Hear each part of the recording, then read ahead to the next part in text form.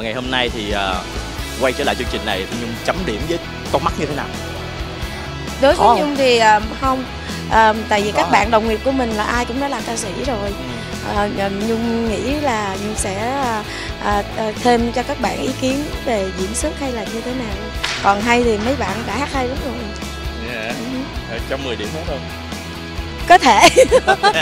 Bật mí trước gì luôn đi hả? Trời ơi không nhưng mà thực sự là ngày hôm ngày hôm nay rất là ờ, rất là cam go rất là gây cứng bởi vì chỉ có một suất duy nhất để mà đi tiếp vào vòng trong thì chắc chắn là số điểm của Phi Nhung phải khó hơn rất nhiều đúng không nào? Nhung thì lúc nào cũng cho điểm ờ, rộng rãi lắm.